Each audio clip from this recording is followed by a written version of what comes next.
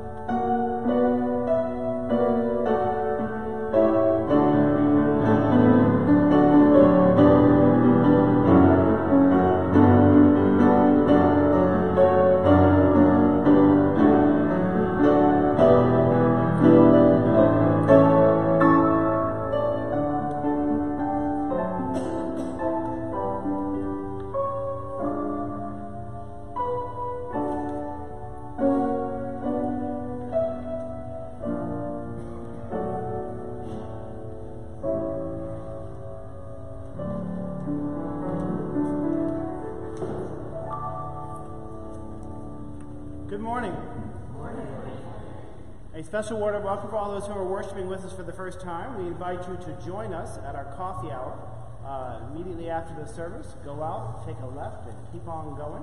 Uh, follow these wonderful, nice people uh, for coffee hour afterwards. Uh, again, we actually fully participate in every aspect of worship here, including Holy Communion. We believe this is God's table, and all are welcome to receive at this table.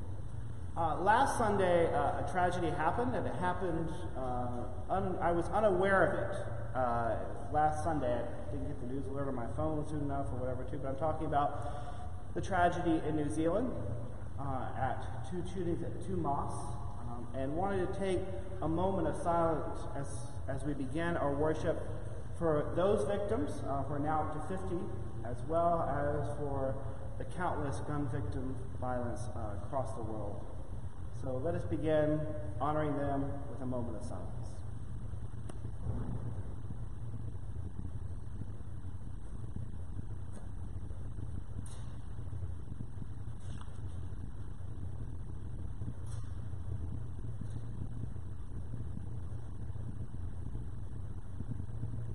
Amen.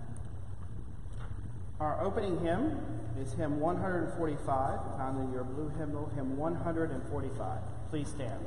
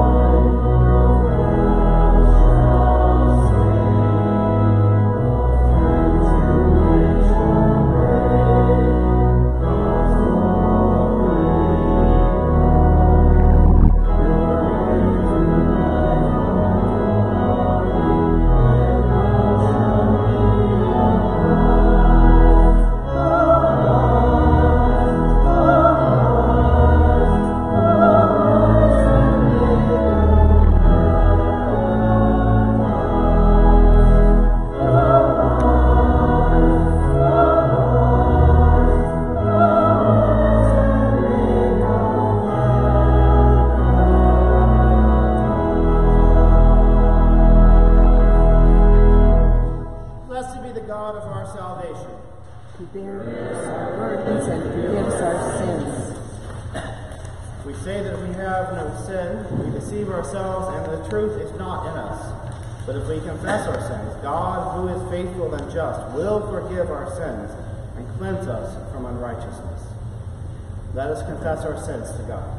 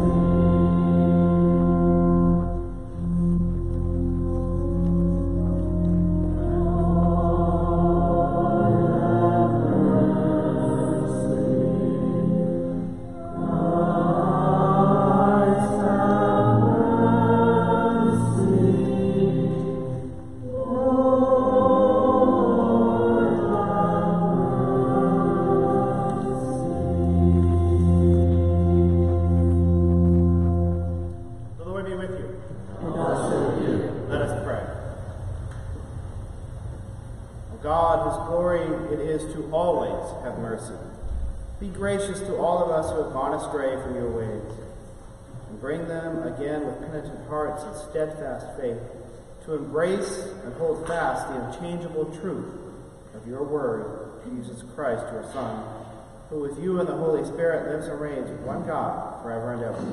Amen.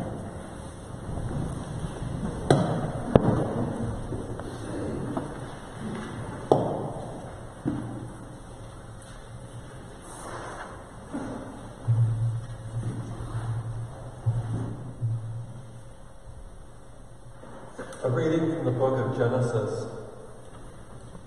The word of the Lord came to Abram in a vision. Do not be afraid, Abram. I am your shield. Your reward shall be very great. But Abram said, O Lord God, what will you give me? For I continue childless, and the heir of my house is Eliezer of Damascus. And Abram said, You have given me no offspring, and so a slave born in my house is to be my heir. But the word of the Lord came to him This man shall not be your heir, no one but your very own issue shall be your heir. He brought him outside and said, Look toward heaven and count the stars if you are able to count them. Then he said to him, So shall your descendants be. And he believed the Lord, and the Lord reckoned it to him as righteousness. Then he said to him, I am the Lord who brought you from Ur of the Chaldeans to give you this land to possess. But he said, O Lord God, how am I to know that I shall possess it? He said to him, Bring me a heifer three years old, a female goat three years old, a ram three years old, a turtle dove, and a young pigeon. He brought him all these and cut them in two, laying each half over against the other, but he did not cut the birds in two. And when the birds of prey came down on the carcasses, Abram drove them away. As the sun was going down, a deep sleep fell upon Abram, and a deep and terrifying darkness descended upon him. When the sun had gone down and it was dark, a smoking fire pot and a flaming torch passed between these pieces. On that day, the Lord made a covenant with Abram, saying, To your descendants I give this land from the river of Egypt to the great river, the river Euphrates. The word of the Lord. Thanks be to God. A reading from the letter of Paul to the Philippians. Brothers and sisters, join in imitating me and observe those who live according to the example you have in us. For many live as enemies of the cross of Christ. I have often told you of them, and now I tell you even in tears. Their end is destruction. Their God is the belly, and their glory is in their shame. Their minds are set on earthly things. But our citizenship is in heaven, and it is from there that we are expecting a Savior, the Lord Jesus Christ. He will transform the body of our humiliation, that it may be conformed to the body of his glory, by the power that also enables him to make all things subject to himself. Therefore, my brothers and sisters, whom I love and long for, my joy and crown, stand firm in the Lord in this way, my beloved. The word of the Lord. Thanks be to God.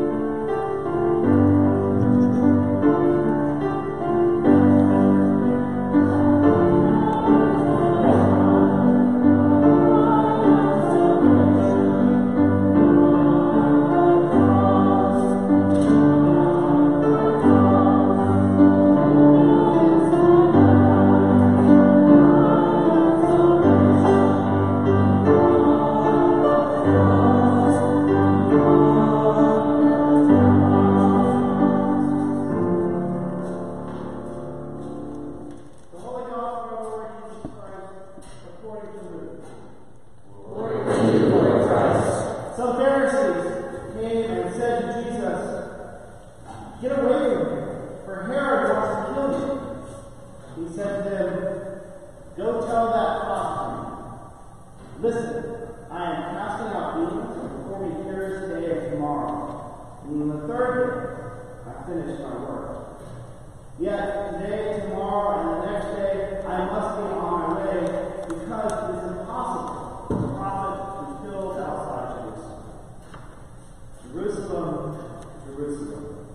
The city that kills the prophets and stones those who are sent to it. How often I desire to gather, gather your children together as a hen gathers her brood under her wings. And you were not willing. Left. I tell you, you will not see the time comes when you say, Blessed is the one who comes in the name of the Lord. The Gospel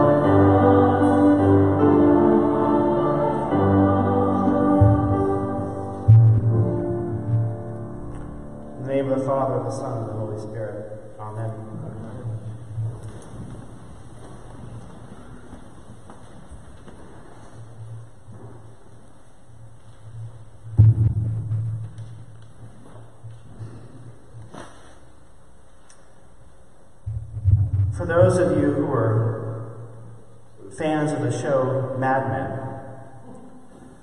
you may remember the scene or you may not. It was kind of an inconsequential scene, but to me it struck me.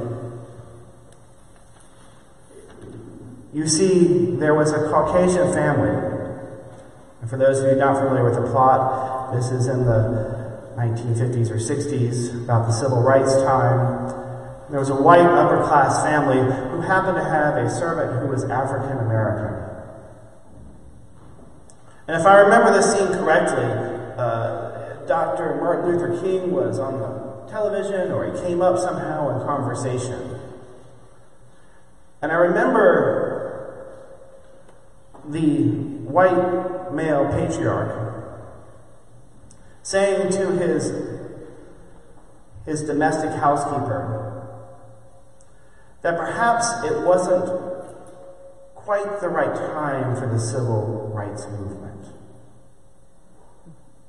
Perhaps people just weren't ready for all that Dr. King was talking about. Now, me from a different generation, I had the reaction of, What are you talking about? But I know full well that there had to be people who had those thoughts.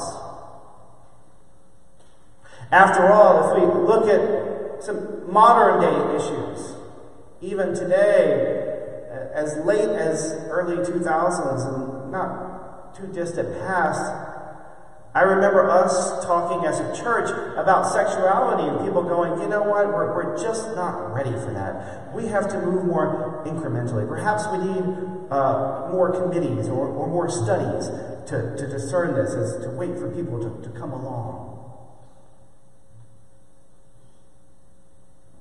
Every step of equality seems to have those voices who want to cling to the way things are. And we use excuses like we're just not ready, or there's just not enough time, or, or we need to study it more, or whatever it is, in order to stall things a little bit more. When is the right time? A group of Pharisees, and Pharisees often get a bad rap in the gospel.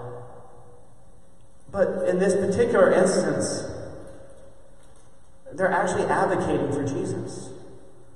They come up to Jesus and they do the equivalent of, hey man, you know, you're coming on a little bit strong. And, and people are starting to get a little nervous.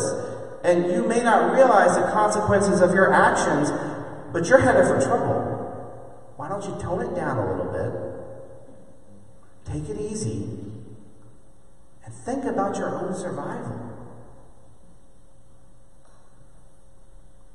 Now, there's some wisdom in that, in the sense of, you know, maybe losing the battle but winning the war. Being in political Washington, D.C., I'm sure many of us know the political system and want to take things slowly. Want people to come along with us.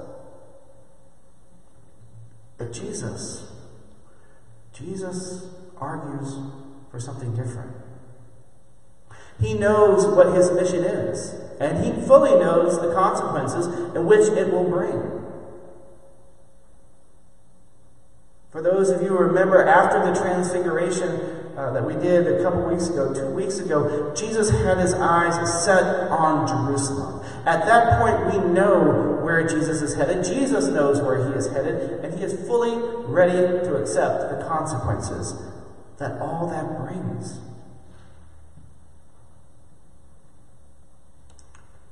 Jesus is willing to give everything to fight for what he believes in. He is not worried about his survival. Today also we hear about the story of Abraham as well. Abraham, in a sense, uh, there's many, many stories within stories about Abraham and many lessons we can learn from Abraham and from Sarah. But this particular lesson, the way I think, in, in my crazy mind at least, the way it, ties to the gospel today is Abraham, this time Abram, is worried about his own survival. Abram has a lot at this point, and some would argue in the sense of don't be selfish, Abram. I mean, you're, you're not doing too bad for yourself. But Abram wants more. In a sense, he's worried how will his lineage continue? He believes that God's people will continue through him. So he's worried about his own lineage. And God, in this beautiful image, if you could just imagine going out to that desert sky, looking up at all those stars, and said, See all these stars? You can't even count them. These will be your descendants. Abram, I got your back. Don't worry. Don't be anxious. Do not be afraid.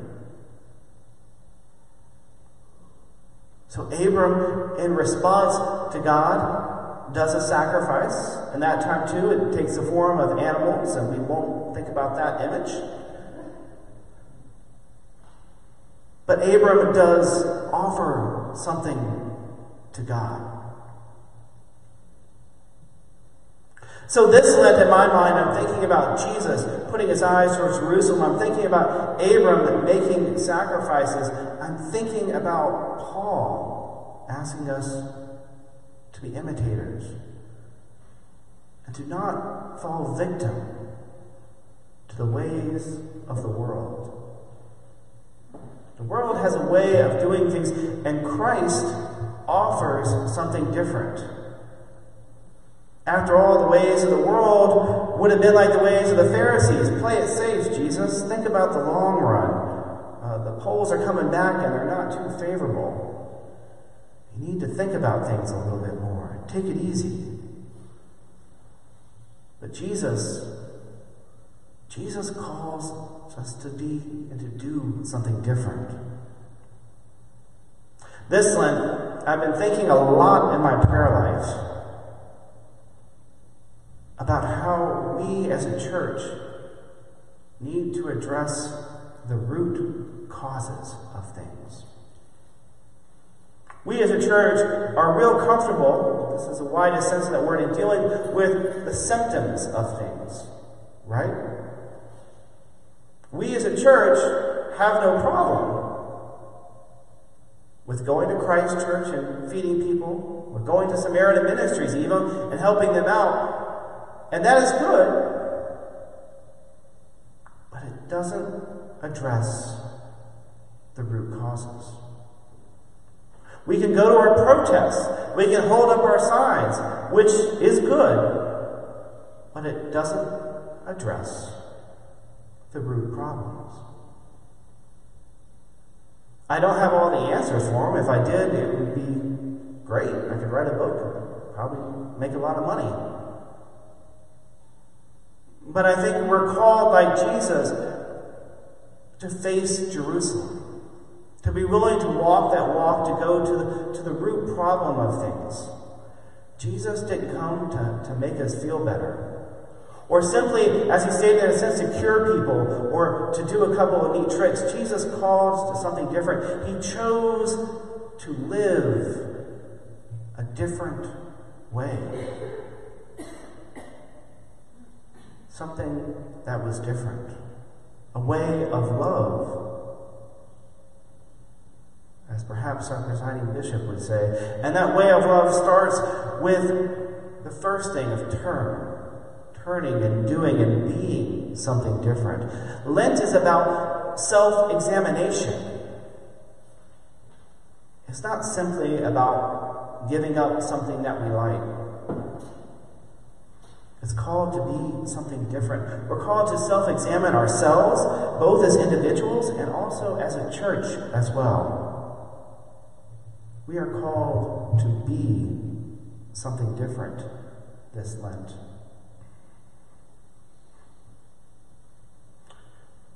Perhaps we should, in this self examination, ask ourselves what are we doing to address these larger issues?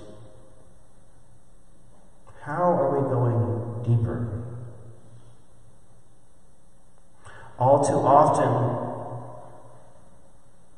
we treat the symptoms and not the problem. It's like if you had a heart attack, you can get a bypass and you live a little bit longer, but if you don't change your diet, change your exercise, you're going to end up in the same way. And I feel that's how we are, over and over again, coming back to the same problems. And perhaps this Lent, we should more importantly ask ourselves what are we willing to risk to solve these problems? What are we willing to risk to solve these problems? How far are we willing to go? Both as individuals and as a community.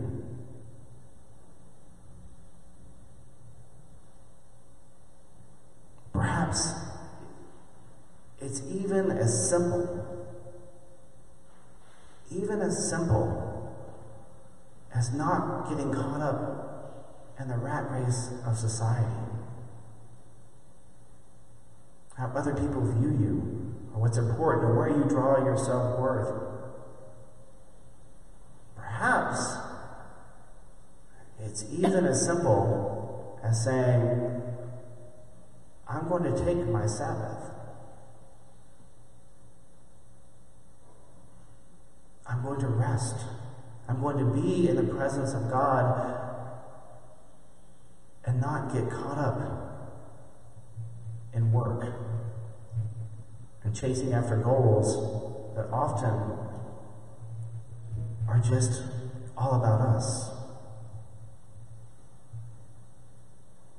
Self examination.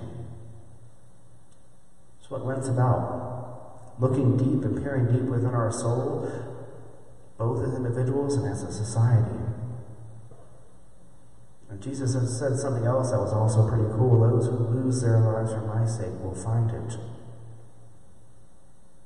I struggle to what that means every single day as I walk try to walk the way of love. Perhaps we should be like Jesus and not worry about our own survival so much. Perhaps we should listen to the words that God spoke to Abram do not be afraid. Trust God. Worrying less about our own survival and more about the survival of all of us.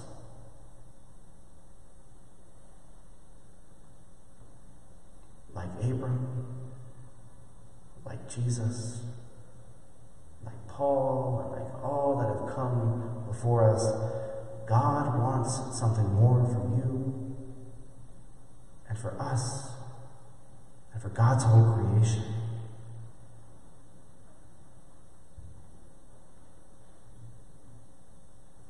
What are we willing to risk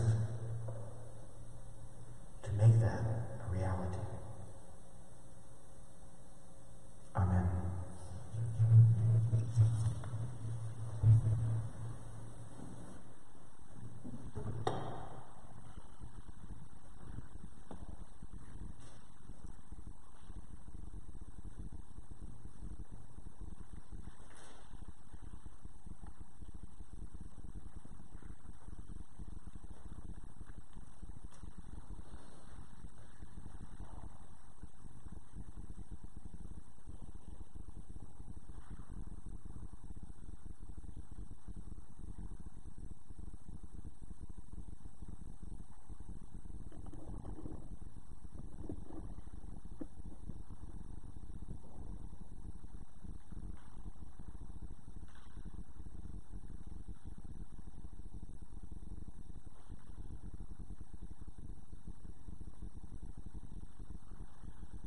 Standing, let's affirm our faith in the words of Nicene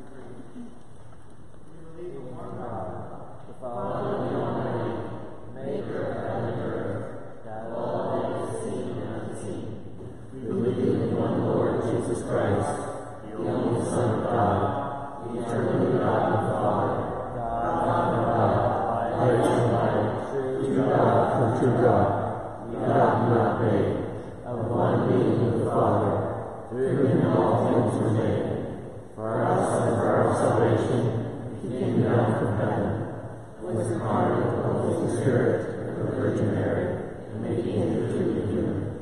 For our sake he was crucified under Pontius Pilate. He suffered death and was buried. On the third day he rose again, in accordance with the Scriptures. He ascended into heaven, and is seated at the right hand of the Father. He will come again in glory to judge the living and the dead, have no end. We believe in the Holy Spirit, the Lord, giver of life, who proceeds from the Father and the Son, with the Father and the Son is worshipped and glorified, who has spoken through the prophets. We believe in one holy Catholic and Apostolic Church. We acknowledge one baptism for the forgiveness of sins. We look for the resurrection of the dead and the life of the world to come. Amen. Continuing prayers for people. Invite your prayers for all of us on our parish prayer list for Will, Kim, Peggy Ann, Kristen, Jen, and the Knapp family, Fran, Jim, Dave, Stephanie, Danielle, Liz, Steve, Paula, Debbie, Viva, Barbara, Marcos, Paul, Greg, Javier, Katie, and baby Marquez, for Andrew, our seminarian. Now invite your own prayers and thanksgivings. I will recite them out loud at this time.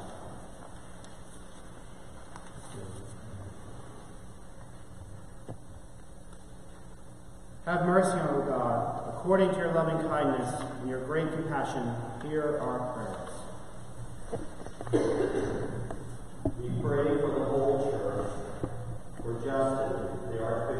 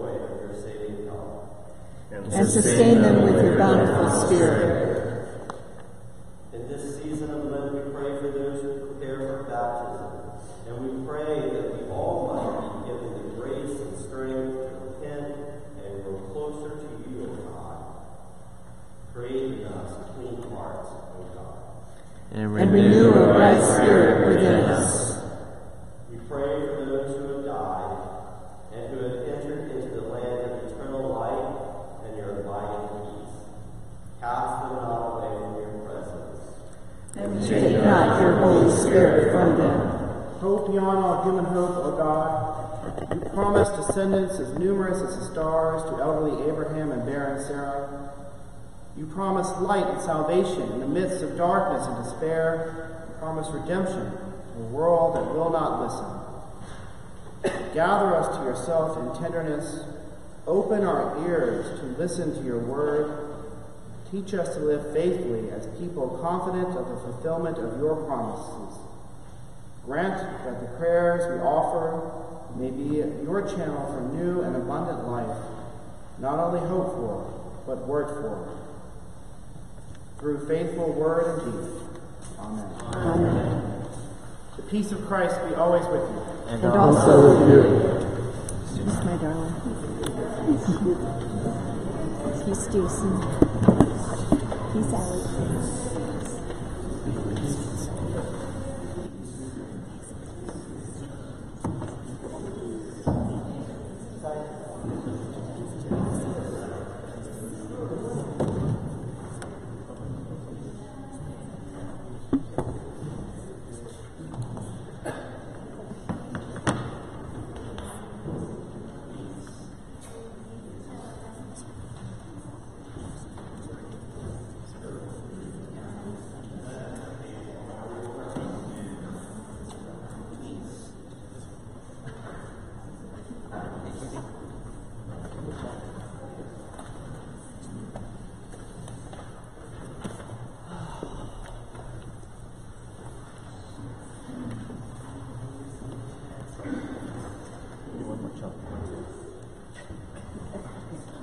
Cindy, I have a question.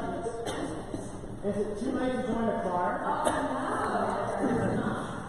Well, what would I do if I wanted to join the choir? Well, yeah, bless your heart. Pray that you get up on Sunday morning. Actually, uh, we're really glad that Brian's come with us. And, uh, yeah, and we're celebrating up in Lent and a busy Holy Week and Easter, which is wonderful.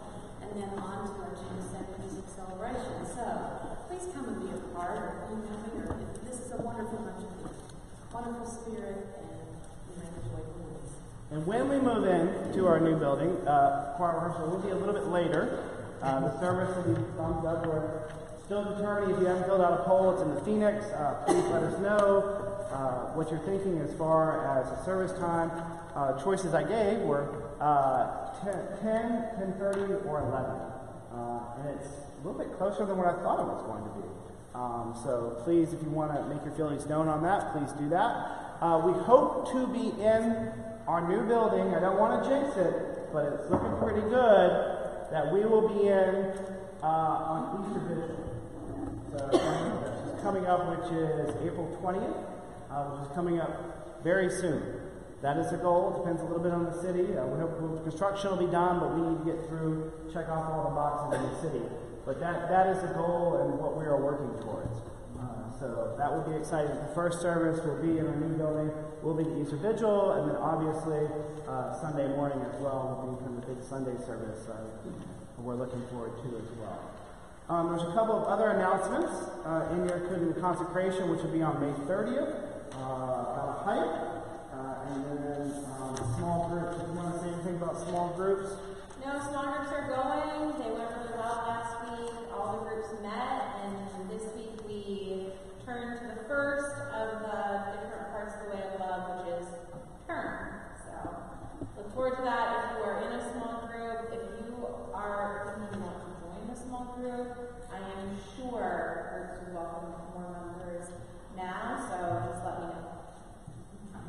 Speaking of that, uh, I want to draw your attention to this uh, in your announcements. For those of you who don't know, this is our, our path to membership based on uh, Bishop Michael, presiding Bishop Michael Curry's way of love. Uh, we have contextualized this to meet our own needs and what we are promising to do as members. Uh, towards the end of Lent, I'm going to ask people to commit or uh, existing members to recommit to these principles of membership to be a member of St. Thomas. Any other announcements? Ascribe to the Lord the honor due his name and bring offering to God's courts.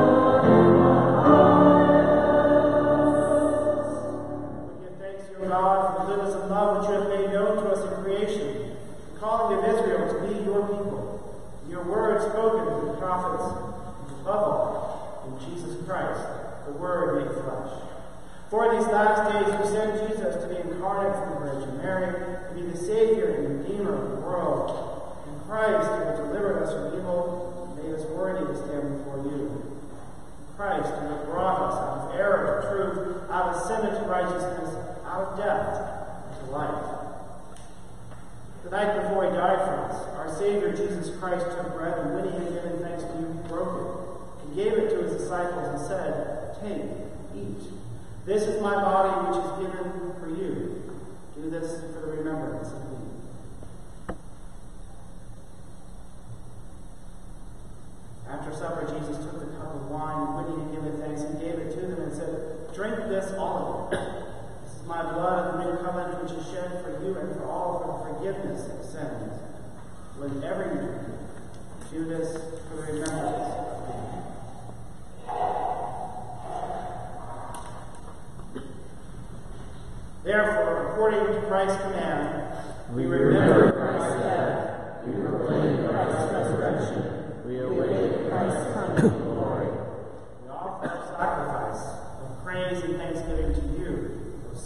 all, presenting to you from your creation this bread and this wine.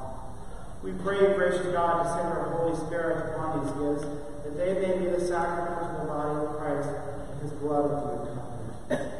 Unite us in this sacrifice of Jesus Christ, for whom we are acceptable to you, being sanctified by the Holy Spirit. In the fullness of time, when all things are subjection unto your Christ, bring us to that heavenly country, where with all your saints you may enter into everlasting heritage with your children. Through Jesus Christ, our Savior, through Jesus Christ,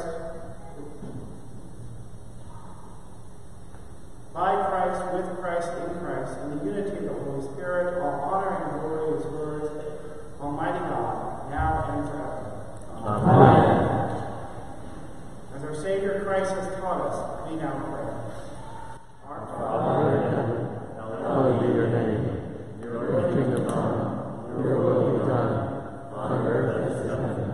Give us today our daily bread. Forgive us our sins as we forgive those who sin against us. Save us from the time of trial and deliver us from evil. The kingdom of God.